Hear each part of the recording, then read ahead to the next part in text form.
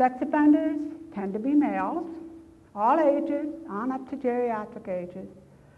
Um, I mentioned this before, but many times with 50% of the a family member, so we add on another 25%, somebody the child knows and is expected to trust. We have recent increases in adolescent sex offenders. I'm kind of referring to the scenario where we're seeing sibling abuse that's going on. Um, I feel, I think we need to research, but I feel that it's related to media and internet. Um, violence is increasing too. Violence is on the media and internet. So I think it's reflective of the kinds of things they have access to. Um, sometimes when I have a situation like that, I'm able to identify with mother that the adolescent male has spent a lot of time on their computer and that maybe she's caught him on some porn sites. And I think when they're viewing this, they're dealing with physical and emotional feelings that they want to take out on somebody. So this is the person they turn to is perhaps their sibling. So I think the more we expose our kids to that, the greater the types of behaviors we should expect. Um, so I'm a child abuse pediatrician. I'm not a sex offender therapist, but what makes sense to me is when I think of the types of people that abuse or sexually abuse kids, is to think of them as molesters and rapists. And when we're dealing with children, about 80% fit that molester type of uh, profile and 20% are rapists. So we'll talk about what that means. But first, this is a a, a picture that a little girl drew many years ago, um, drew for her therapist. She was asked to write a letter to the perpetrator. And I'm going to read this to you because I think it'll make some of you smile if you read this. Um, so she said, Hey, you ugly man, I'm not afraid of you. I don't want you to hurt other kids because you'll be in bigger trouble. If you hurt other kids more, you will really go to jail. You're an ugly, mean old man. You look like a dog. This is what you look like. You know, and this is a wonderful example of anger. It's a wonderful example of a situation where a child knows, I'm not at fault. That person's fault. The tragedy is that only about 8 or 10% of kids feel this. They're more likely to be confused, more likely to be sad more likely to be ashamed than angry. I like it when they get to that point because I feel like they're on the road. but it takes a while for some of these kids to feel this way. Okay, so molesters and rapists. So molesters initiate the abuse slowly. It's not uncommon for them to begin, for them to test the waters. And they do that by accidentally on purpose touching, maybe during bathing, maybe during wrestling or tickling fights. And they kind of gauge the child's reaction to that touch. If the child jumps up and runs away and says, What are you doing? that's probably not a good victim. But if you have a child who's more acquiescent, okay, goes along with it, doesn't seem to react, keeps, keeps the activity going, that's somebody who might make a better victim. So it's a way of, of you know, getting a sense of who would make a good victim. They use enticement and deception to gain access It's what they do to their mind and try to deceive them into enjoying the experience. They want a relationship with the child. They want something that's ongoing, not a one-time thing. Everything they do is for that goal. Medical evidence is uncommon. They need to be gentle with their victims. Because a tear or a bruise, a child might complain and the mother might bring them to the doctor and who knows whether the doctor will see something or not, but it's a risk they can't take. So they will be gentle, they will move slowly. Rapists are what we're used to dealing with when we think of sexual assault. There's a lot of overlap between molesters and rapists. So rapists, they're all about what they need. They don't care whether the child enjoys the experience. In fact, they prefer if the child had some anxiety or pain. That's what they would prefer. So penetration is something that might occur earlier with rapists. They use force and control, and pain is part of what they're seeking. Um, medical evidence might be more likely, but only if they come in within a few days of that sexual abuse itself. So maybe 20 to 30 percent, if they come in within 48 hours, will have some kind of physical evidence if they were assaulted at a penetrative event. So um, victims of rapists are more likely to report earlier because it hurts, okay, or because they have symptoms perhaps, than uh, victims of molesters in general. But make no mistake, there are a lot of people out there who are chronic rapists of children. In other words, we have, sometimes we have people saying things like, I made you, you're mine, I would do with you what I want. That's what one father said to his daughter. You belong to me, and I would do what I want. So there's a lot of disregard, you know, for the victim's feelings or comfort. So that can happen. So there is some, it's not a clear dichotomy here. In general, sex offenders of children are more likely than not to be physically violent with children and adult partners they live in. There's a lot of overlap between sexual abuse and physical violence. It's not uncommon for domestic violence to be in that same home. And it's not uncommon for the person who's battering the adult female in the home to also be sexually abusing the child. Use drugs or alcohol and victimize more than one child. So this is more likely than not. So this means about half of the sex offenders that are identified uh, or more will have these other problems. Now we're going to look at goals for sex offenders.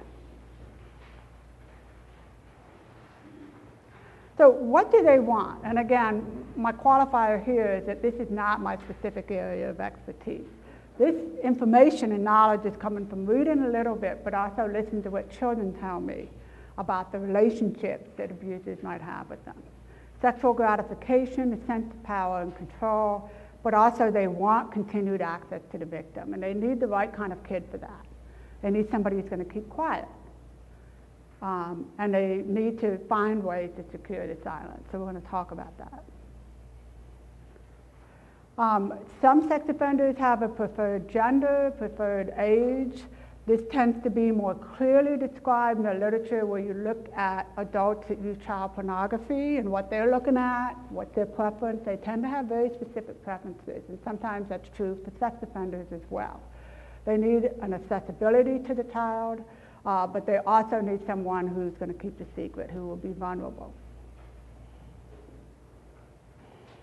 And it's a balance of terror. So what these individuals are often looking for, that they need the victim to fear the consequences of disclosure. So they need them to be quiet, but not necessarily fear the abuser because they want this complicit relationship with the child. So it is a, it is a, sometimes a tenuous balance that they set out to achieve.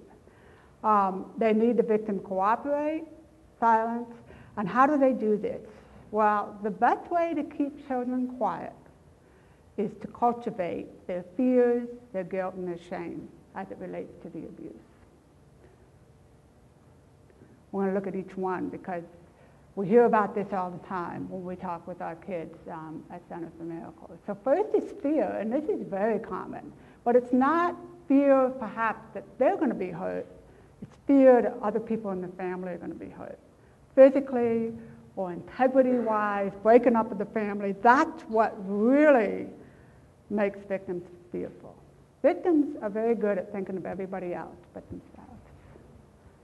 It's really evident. They're just, it, and sometimes they tell you, I let him abuse me so he wouldn't abuse my sister.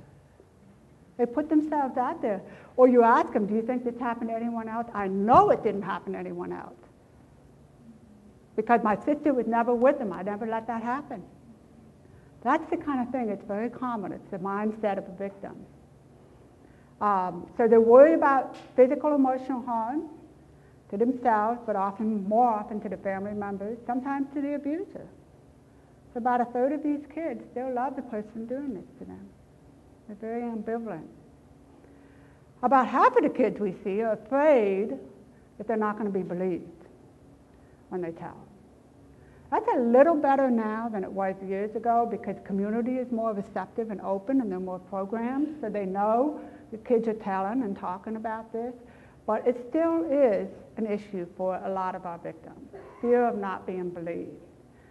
Um, some of the problem with this is it's kind of easy for me to understand how this becomes a problem because what happens? Okay, the eight-year-old girl goes up to her mother and says, Mom, I have something to tell you. My stepdad has been abusing me for the last year. Now, some very supportive, well-intentioned mothers would sometimes the first thing out of their mouth is, why didn't you tell me? Why didn't you tell me before this? We've talked about this. We've talked, I told you, whenever somebody touches your bottom, you need to come tell me. If anybody does something. You see how that compound? It, it's a little bit of an extension of this theme, but this is a fear for the child. Will they believe me? Now, when a mother says, why didn't you tell me? What the child processes is, she might believe me, but she's mad at me because I didn't tell and this is my fault. That's how they process that information very often.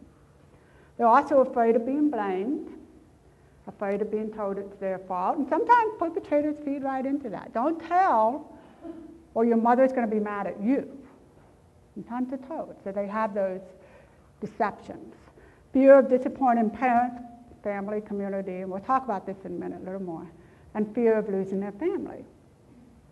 Okay? I mean, there's this, this belief that if something like this happens, report it to CPS, where everybody knows CPS takes kids immediately out of the home. That's the perception they have. And of course, that's not true most of the time, but that's what they believe might happen.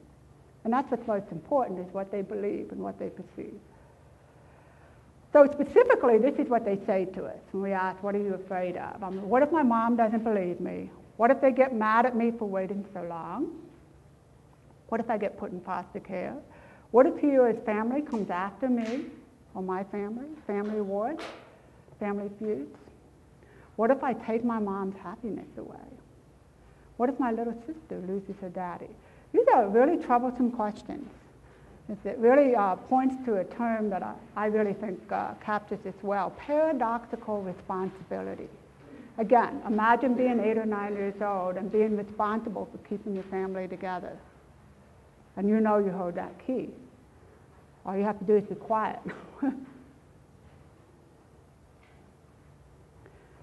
Another quote. I didn't want to tell because when I told the first time I was abused, it ruined everything. It took all my mother's happiness away. kids don't want to be responsible for that. Young kids especially are very sensitive to this. And those of you who had these kids, you've seen this, right? Let's say, you know, as a mother, I know when my boys were small, if I was crying about something, it could be a TV program. What do they do? They come up to you, don't cry, mom. Don't cry. They try to take your tears away. They're very protective. They don't even if the distress is for them, they still want to get rid of it. They still want to fix it. So what do abusers say to try to reinforce some of these fears? If you tell, I will hurt you. If you tell, I will go to jail, and that would be your fault. You'll be in trouble. I would tell them you wanted it, that it's your fault. You'll be taken away to a shelter. You break up the family, no one will believe you, or just simply don't tell. So, you know, sometimes there'll be a scenario where the, perpetrator, the abuser is removed from the home, okay? And we all feel that the mother is being supported, but sometimes some other things go on at home. And these cause a lot of trauma for the child. This is an example. I don't know if my mom believes me. At night, everyone is crying. My mom doesn't know who to believe, and my little sister and brother cry for their father. Again, tremendous pressure on a girl of 10. So how do they reinforce these fears? We talked about explicit threats, um, but we also have implicit threats where nothing has to be said. It's just there. The child knows they're not supposed to tell.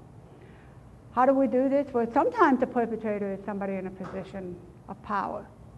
It might be a camp counselor, it might be a teacher, it might be a religious figure. It could be any of those individuals. I have um, been involved with some of those cases and find it very interesting to see or to hear how bold some of those scenarios are. You may have, um, there was a trial recently of a teacher involved in sexually abusing kids in the classroom, in front of other kids. but the way the seating in the classroom was, is it was a, all the, all the uh, desks were along the edge facing the wall. So he would go from student to student. He set this thing up so he could reach under and touch them while he was helping them on the computer if they were doing their homework. Um, another case I was involved with involved a camp counselor. And he would do shower checks on these young adolescent boys. He would make them take their towels off after the shower so he could check to make sure they were clean. But he did it in a group.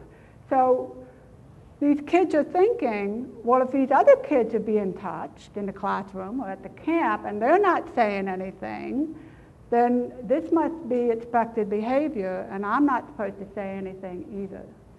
So they kind of watch to see how other kids react especially in situations where there's a clear authoritative figure. So those are different and unique scenarios, but they can happen also. Um, so with this, sometimes it's a demonstration of abuse of power and victim helplessness. You know, I think to some extent what happened with the Sandusky case reflects this. You know, they were in the shower. Somebody saw what happened, but then nothing happened. And so I can imagine what's going on in that victim's mind is, so why do I bother telling? This guy saw what happened and everybody's going on as if nothing happened. And if other victims were to learn about that lack of response, how that would also reinforce them staying quiet. Does that make sense to you? It's a complex scenario, but you can understand how in that group situation they might process it differently. Um, there's also the lack of uh, escape possibility. So this boy at camp, for example. He was sexually abused. He was being touched by his camp counselor. And he lived 200 miles away. Okay? So when this happened, he was very uncomfortable with it. And his response was, you know, when you're at camp, sometimes you can't use phones or no phones or anything. So he wrote a letter to his parents saying, I hate it here, come get me. And the parents got this letter and they were very upset by it. So they called the camp and said, we need to talk with our son. He's not doing well. He's very upset. He doesn't want to be there. So what do they do? They hand him the phone in the middle of the cafeteria with everybody else around. No, Mom, everything's fine. I'm sorry. He is terribly embarrassed by the whole scenario. So of course he doesn't tell his parents on the phone. But then the question becomes this. When his parents come at the end of the six weeks and pick him up, and drive him 200 miles away home. Why didn't he tell them? He's safe. He's away from the situation. Why didn't he tell them? And I encourage the prosecutor to ask the child that question on the stand because I thought it was key for people to hear his answer. And his answer was this I didn't want to disappoint my parents. My mom had always told me if anything happened to me that I didn't like or anything like this, if they touched me, I needed to call 911. I needed to tell right away. And I didn't. And I couldn't face my parents when they realized I didn't do what they taught me to do all my life. That disappointment was way too much for him. He outcried in therapy several months later. Several months later. So, you know, even in scenarios where we expect them to tell, they don't always.